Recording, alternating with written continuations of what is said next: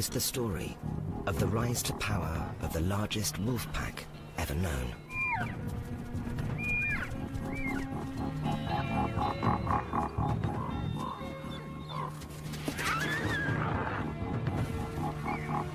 Going from strength to strength, they're now at a turning point in their lives.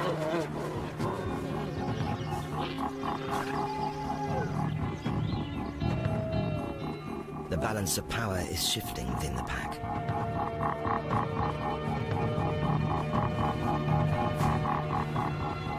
The leaders face a takeover challenge from within their own family.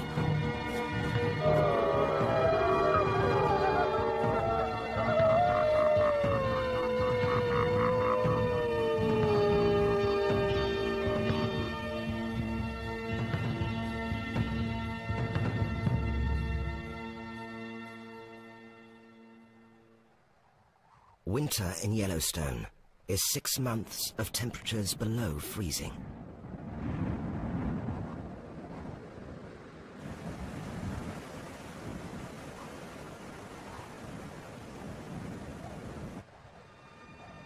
It can look beautiful, but the conditions are fierce.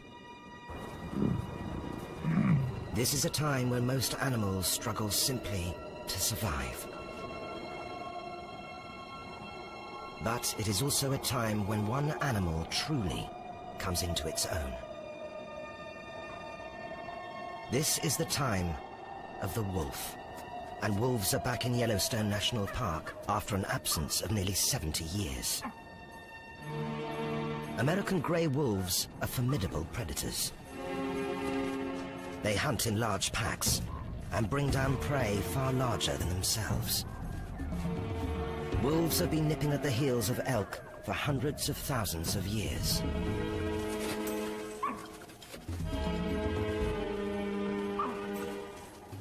In the depths of winter, there will always be the weak, the old, the injured. Once targeted, the wolf pack closes in.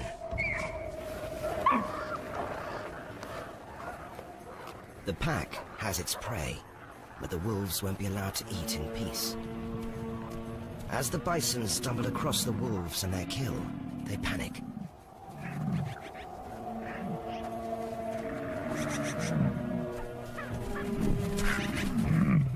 Extraordinary scenes like this disappeared entirely from the American West early last century. Millions of bison were exterminated, and the wolf wasn't far behind. It was treated as vermin by ranchers and park officials, hunted, poisoned, and trapped. The Yellowstone wolf was gone.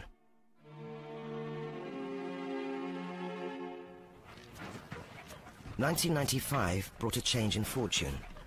Wolves were brought from the Canadian wilderness to be released back into the park after a 65-year absence. Here, guys. Right here, Doug. We got two here. Park biologists kept the wolves in pens to get them used to the new surroundings, and they had their hands full from the start. Even after 10 weeks, the Canadian wolves still had a healthy disrespect for human company. The plan to fit radio collars to monitor the wolves' progress and location proved challenging. But local officials had more serious worries. Once released, would the wolves leave the park and start preying on livestock instead of the wildlife? If they did, the project was doomed. As the date of the releases approached, park biologists like Doug Smith really had no idea what would happen once the doors to the pens were opened.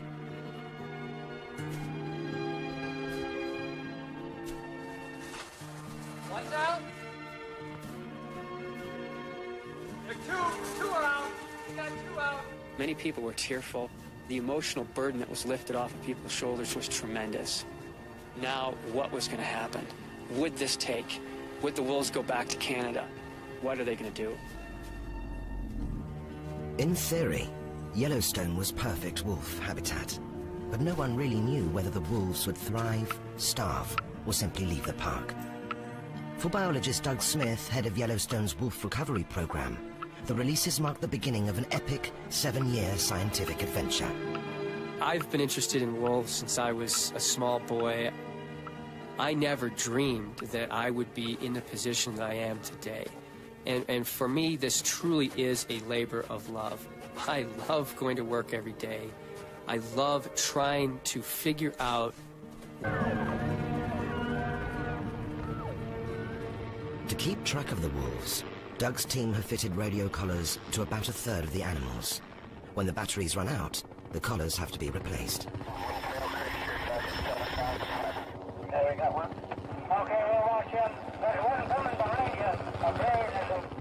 After trying several different recapture techniques, Doug has found darting from a helicopter to be the least traumatic for the wolves. Hey, what's down that one? Okay, we're uh, still with this first one. I'm gonna try not to get bit here.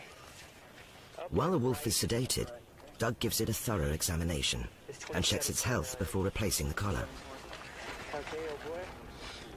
The radio collars have given him an extraordinarily intimate glimpse into the secret lives of wolves. I think it's good we got him on insight. The wolves he's come to know best were a pack released in the shadow of Druid Peak in 1996. The Druid pack initially seemed to adjust well to Yellowstone, but more than a year later they wandered out of the park and the pack leader was shot. Command of the Seven Wolves fell to his mate, the alpha female, a beautiful wolf, but a violent one. A coyote scavenging her kill was in serious trouble. The first alpha female was wolf number 40. She was very aggressive, and she ruled with an iron fist. Led by this powerful Dark Queen, the Druids developed a reputation for killing wolves from neighboring packs, as well as coyotes.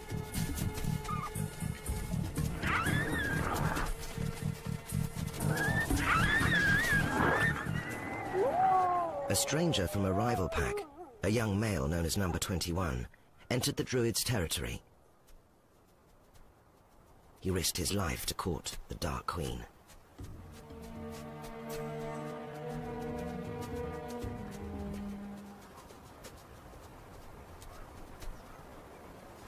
His gamble paid off.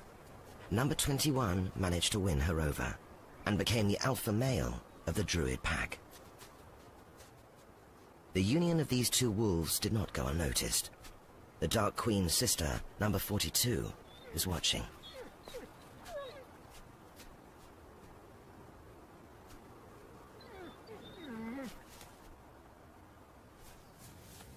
Known as the Cinderella Wolf, number 42 was in constant trouble with her sister.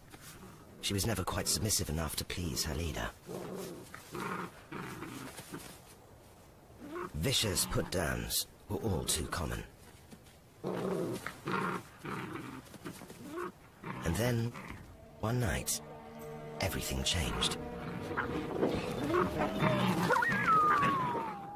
The Dark Queen was dead, probably killed by her own sister.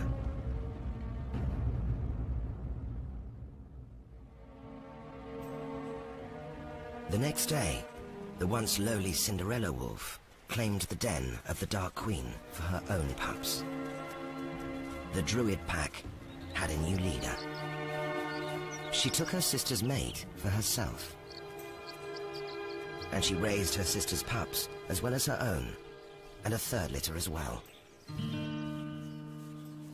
They had 21 young mouths to feed. The druids took turns babysitting and feeding them all.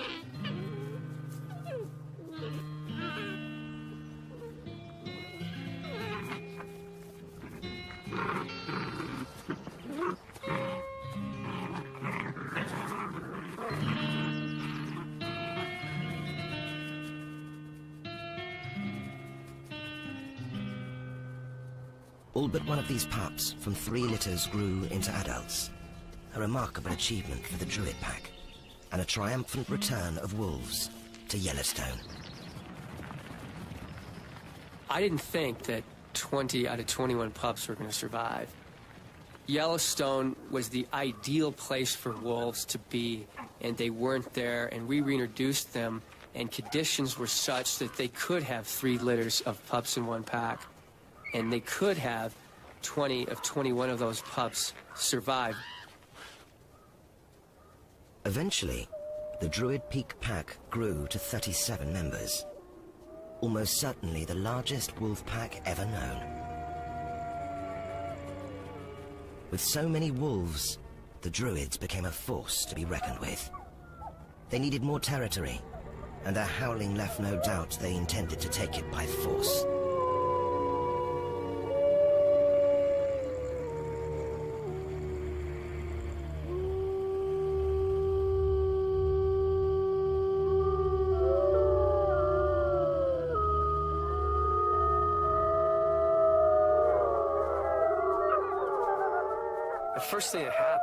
Druid Peak Pack grew was they had to get more territory.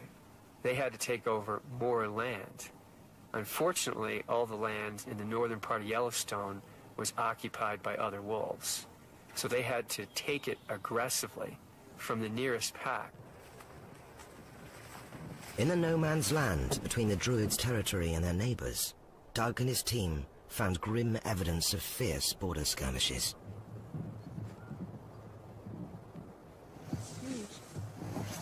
Yeah, it's pretty big. Lots of blood. Territorial skirmishes between wolf packs can be ferocious.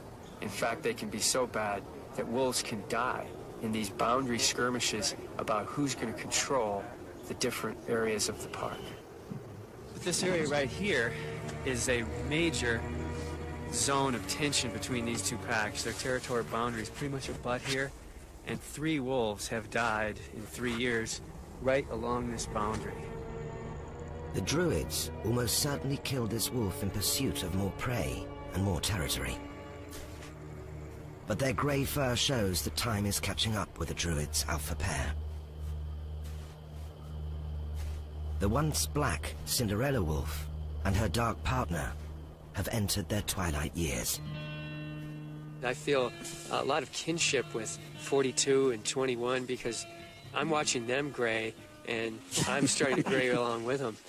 so all this stuff pulls me a lot of different ways. So I'm bonding with the study subjects. Now seven years old, 42 and 21, the alpha pair have outlived most of their contemporaries. But they won't be allowed to enjoy their golden years in peace. Trouble comes in the form of number 113, a powerful young male, a lone wolf. The unique thing about 113 is he's so big. And how he referred to him was that big male wolf. In the prime of his life, number 113 has one thing on his mind, a mate. But Druid Turf is a dangerous place to come courting. Caution takes hold, and the big male wolf has second thoughts about advancing further. And it's 21, the old man of the Druids, who chases him off.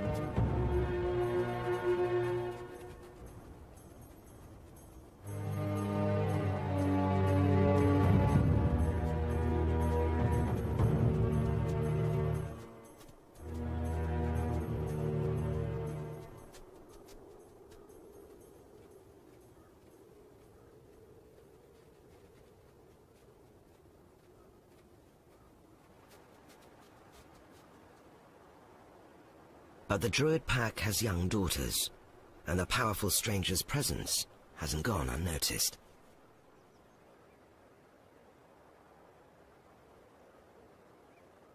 She's interested, but nervous. A meeting between wolves from different packs is a tense and dangerous affair. These behaviors are quite ritualized. The animal stands very stiffly, facing the oncoming wolves.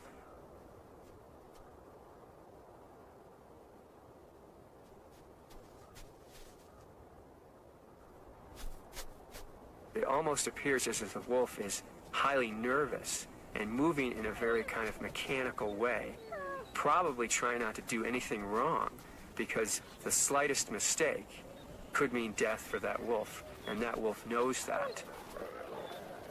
Clearly, the young druid ladies appear more amorous than aggressive. Not so their father.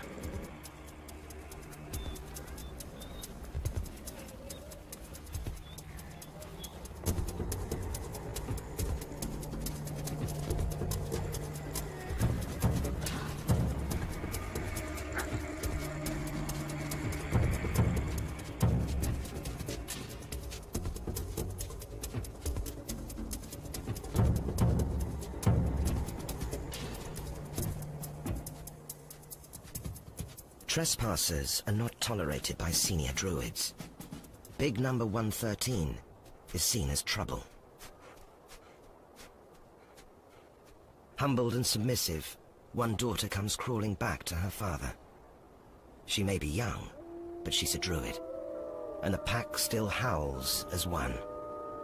For the moment. As winter sets in, the druid pack faces a dilemma. Hunting has been good, but there are simply too many of them, and they are constantly hungry. They spotted an injured elk calf who seeks refuge in an icy stream. This catch seems too easy to be true. But it means getting drenched, and the wolves are not sure it's worth it.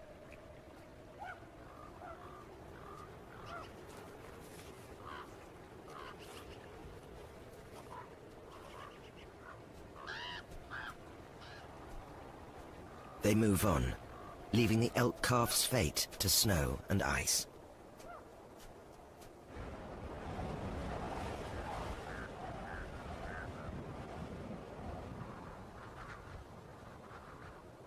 Winters in Yellowstone are merciless. Temperatures can drop to 50 below.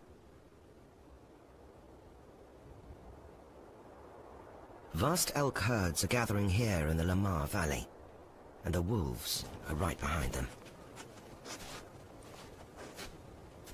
Led by the veterans 21 and 42, it's time for the pack to turn to the business of hunting.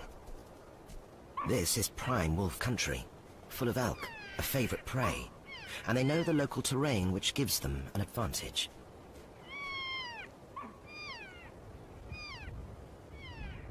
Wolves, one of the most important ways they hunt is by getting a good look at their prey.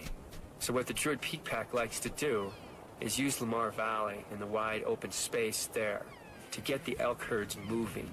And in that way, they can examine the elk. 21, the alpha male of the Druid Peak Pack, is oftentimes the leader of the hunt. He's the oldest, most experienced, arguably the wisest wolf in the pack, and so he understands what elk can be pursued but he might not necessarily be the most aggressive wolf in the hunts. He allows some of those younger wolves and their enthusiasm come forward to, to take care of the initial stages of the hunt, and he'll move in towards the end.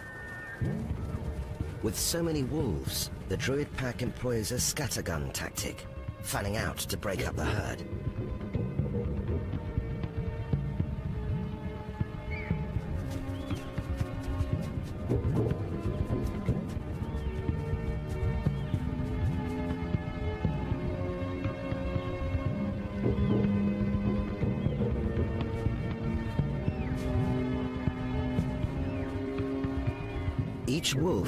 Follows its own target, but keeps an eye out in case a fellow druid is on the heels of an easier mark.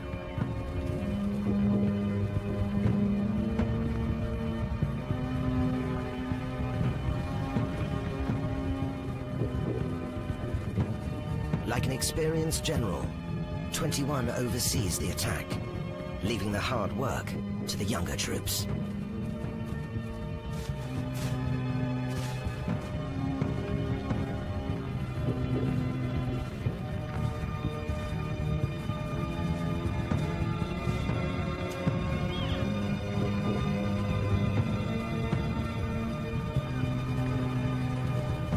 Takes is a single stumble. The takedown is the most dangerous moment. A frightened elk can easily deal a fatal blow with its sharp hooves. But the druids have experience on their side. The prey is overwhelmed. With so many hunters, the carcass will be quickly stripped to the bone. There will be little left for scavengers.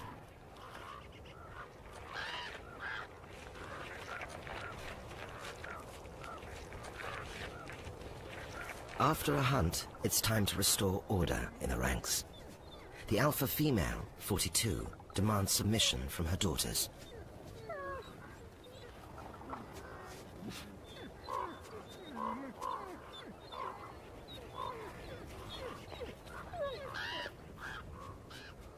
The success of the Druids has had an impact not only on the elk, but on the wolf's cousin, the coyote.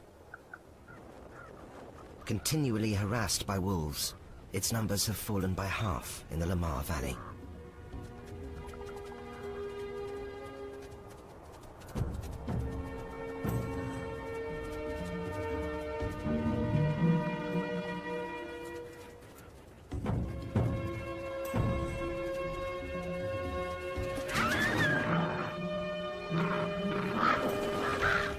Once the Druids were infamous for killing coyotes, but no longer. This young wolf wants a playmate, however reluctant.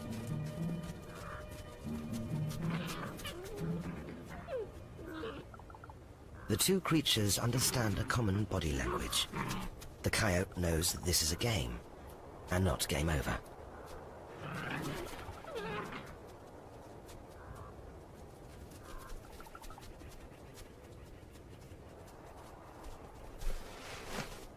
Although the druid pups are ten months old, nearly full grown, their puppyish curiosity and appetite for play are still very much alive.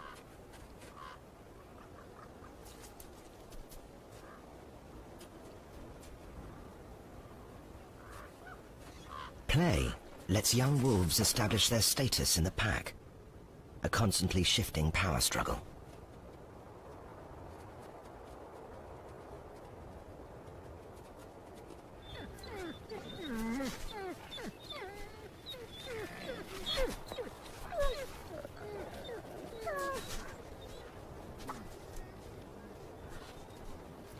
Pups play, there is trouble stirring.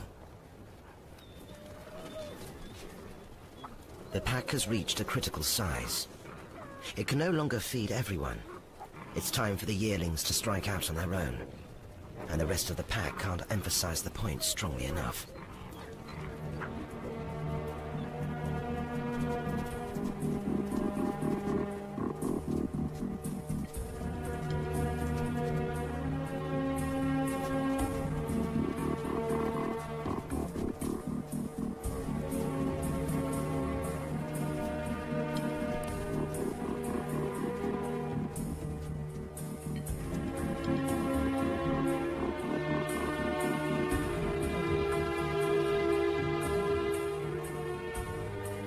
Shunned by his own family, this outcast will have to make his own way in the wilderness.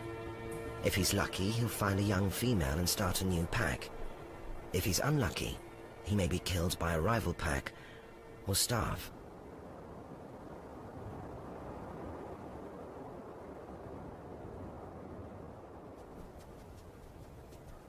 In the late afternoon, one of the druid daughters is restless, and with good reason.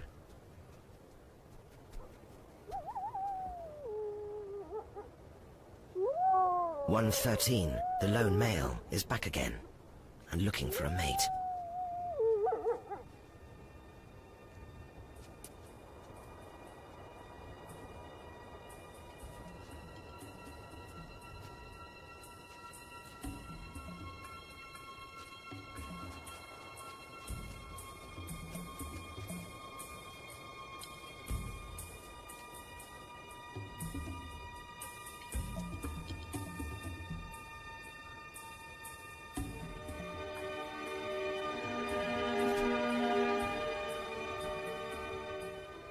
In this moment, the first steps in the formation of a new alliance have been taken.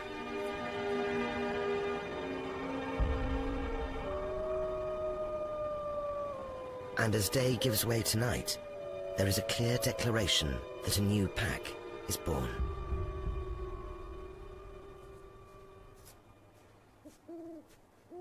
Under cover of darkness, another druid female approaches the big male stranger.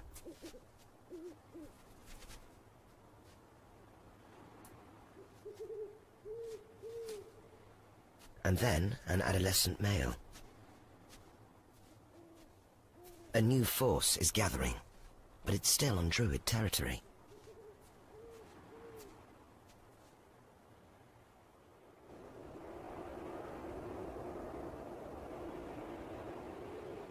The morning finds Old 21, the alpha male, leading the remaining druids on border patrol.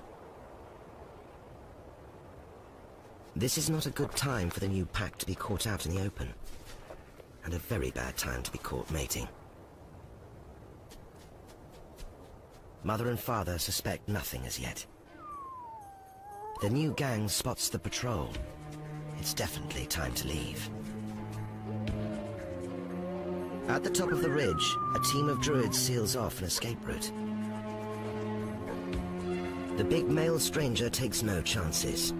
He leads his band of recruits into no man's land. On the way out of the valley, he's joined by several more druid deserters. Traveling along the disputed border between rival wolf packs, the young gang of six heads south, further into the heart of the park to try their fortunes there. The loyal druids reaffirm their ownership of this part of Yellowstone.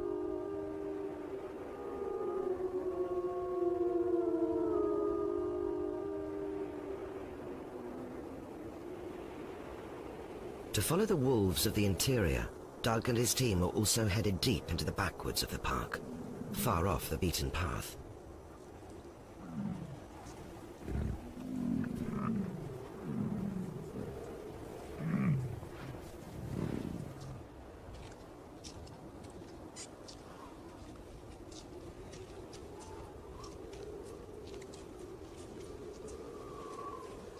Deep in the heart of Yellowstone is where winter hits hardest. There is no comfort to be found in these parts.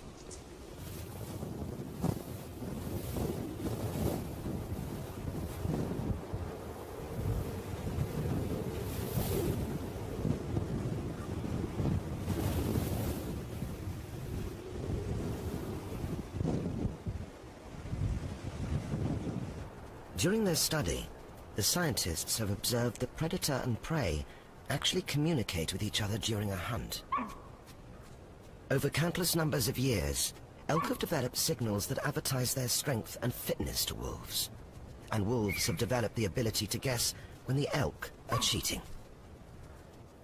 These elk are signaling that they're strong by energetic and exaggerated trotting.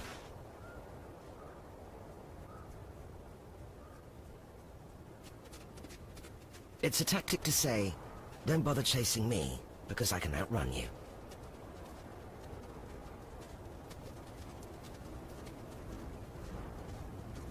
Sometimes, the wolves will call their bluff, and continue to chase the elk. It won't be long before any weakness will be found out.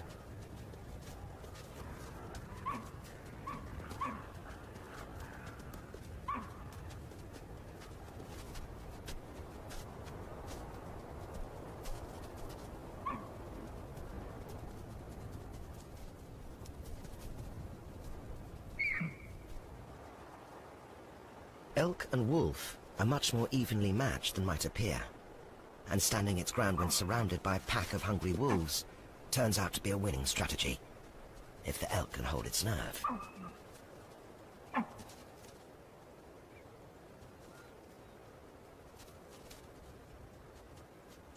Wolves can be killed by their prey, and we've had six wolves die in Yellowstone because of their prey. Five by elk, one by a moose. So wolves have to be very, very careful at what they kill.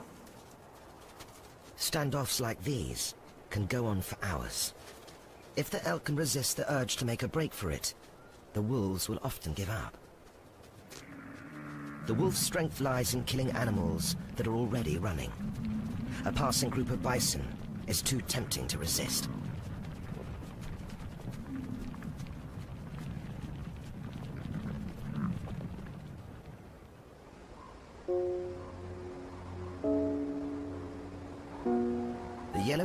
Winter finally loosens its grip and gives way slowly to spring.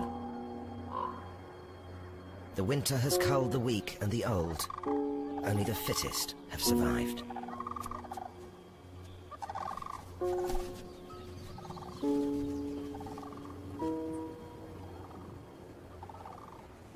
Today, Doug is out with David Mech and Rolf Peterson, both veterans of wolf research. They're looking for a bison carcass that was spotted from the air. Just once in a lifetime.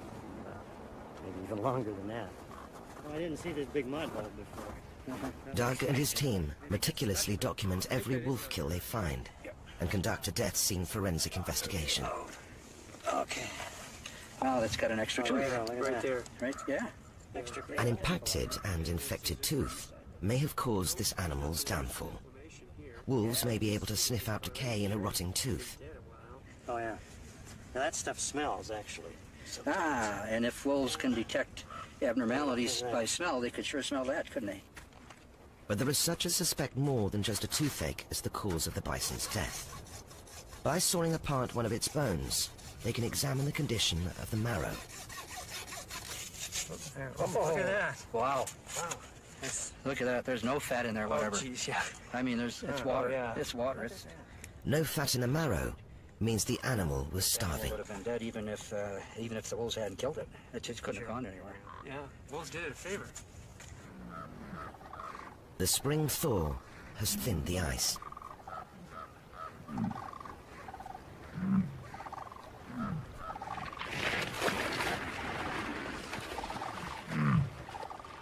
The bison will find escape impossible.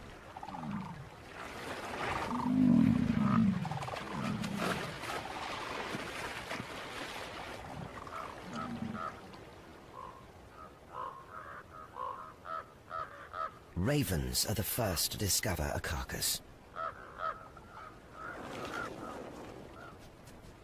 Coyotes aren't far behind.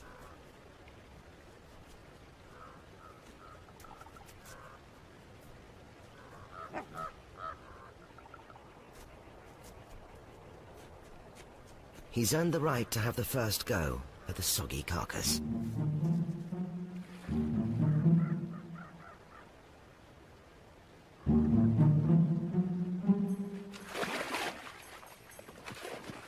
Not that it's going to be that easy.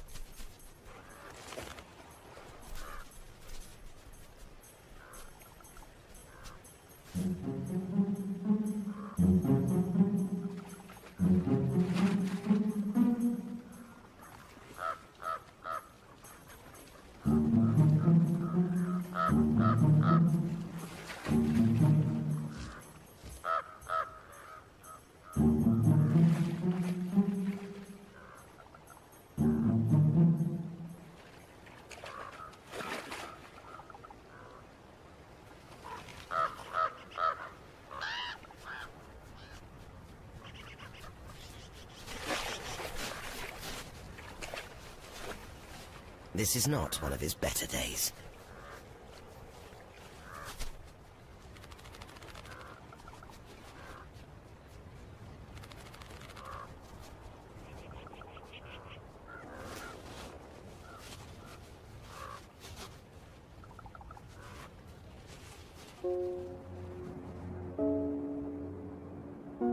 Springtime in Yellowstone is fickle.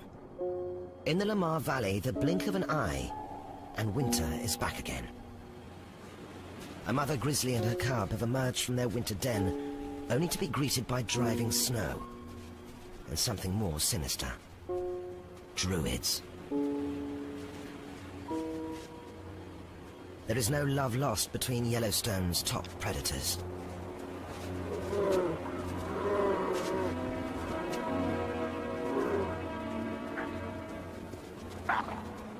Wolves and grizzlies have been known to kill each other's young. You'd think an aggressively protective mother bear would be best left alone.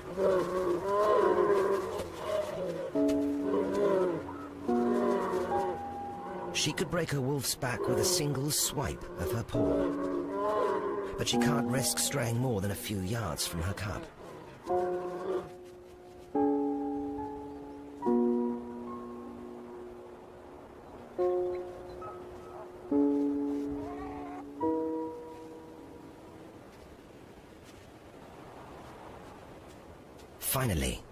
Druids lose interest in bear baiting, and the mother and cub can go their own way.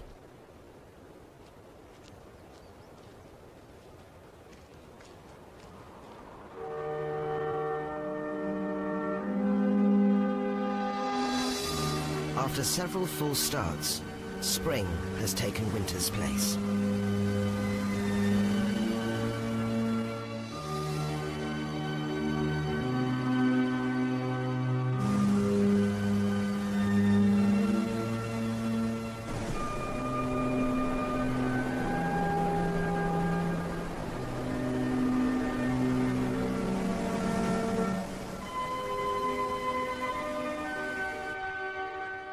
With the cloak of winter lifted, the Lamar Valley is barely recognizable. There are newcomers here, just getting to know the place.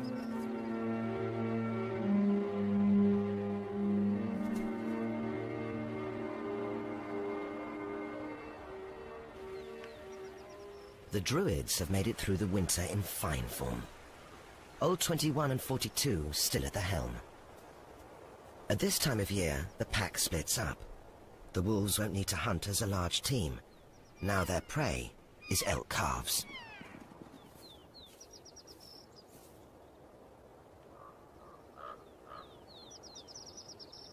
And it's not just wolves. Every predator is drawn to them.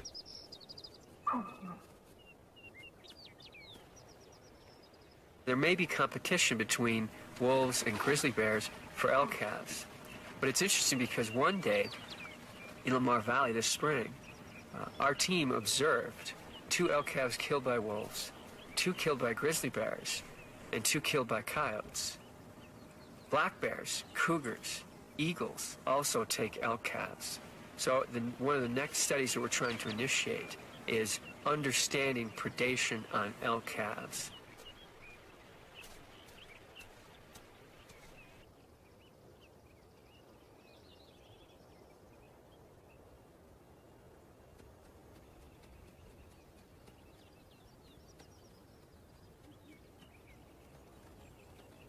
Calves are nimble and quick even at this young age.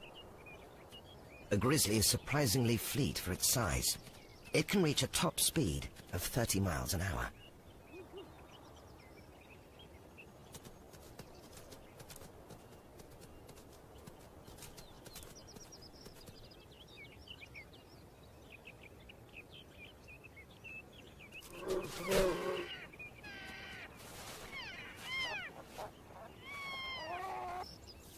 Grizzlies have young to feed too.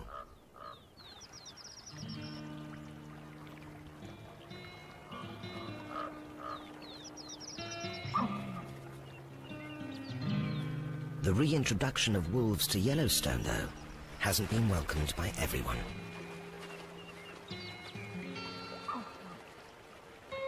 Local sports hunters, for one, don't like competing with the wolves. But despite the return of a top predator to the park, the scientists report elk numbers seem to be holding steady.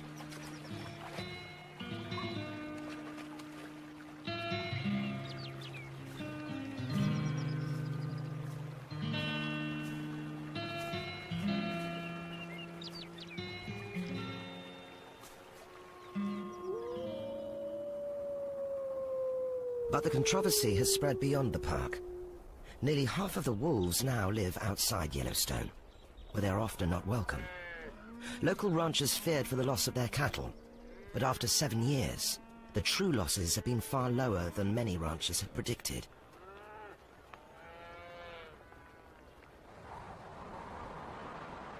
The days are growing longer, and the Druids are away patrolling the furthest reaches of their territory. Doug and his team used this opportunity to study the Druids' vacated winter home.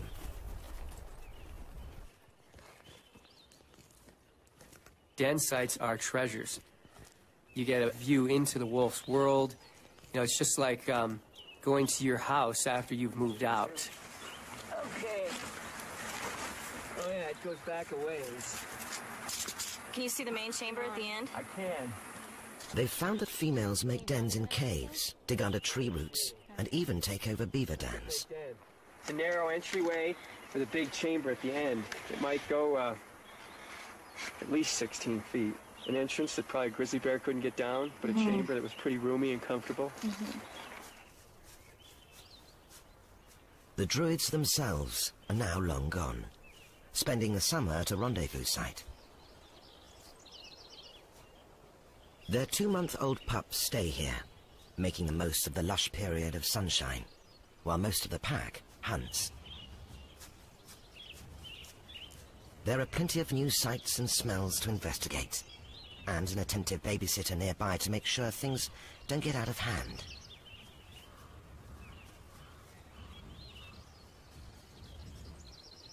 For the next few summer months, the rendezvous site will be the focal point of their young lives.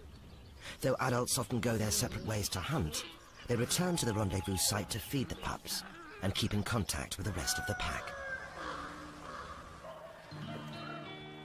A new litter of wolf pups is welcome. But Doug knows the time will soon come when there'll be some sad losses from the Druid pack. 42 has been there since the beginning, and 21 came on the scene early. They are the thread through that whole story, and that thread is getting short, and it, it could end soon. It will be a sad day for me, and it will be a sad day for the story of Yellowstone Wolves. The sadness of those inevitable losses should be balanced by the scale of the achievement. I think the reintroduction of wolves to Yellowstone is one of the scientific opportunities of the century. To be a part of this from the beginning and document how this system will change because of the reintroduction of a top carnivore that belongs here is a, a huge scientific opportunity that needs to be done. And now a new chapter has opened in Yellowstone's history. Doug has been anxious to find out what happened to the big young wolf that ran off with the druid's adolescent daughters. Although number 113 has been collared, his radio transmitter only works occasionally, so he's been hard to track. One day, at the edge of the druid's territory, Doug spots a group of pups he hasn't seen before. And watching over them is 113. No longer a renegade wolf, but a busy father with his young family. With the arrival of the pups, this group is now officially a pack in its own right, and 113 is their alpha male.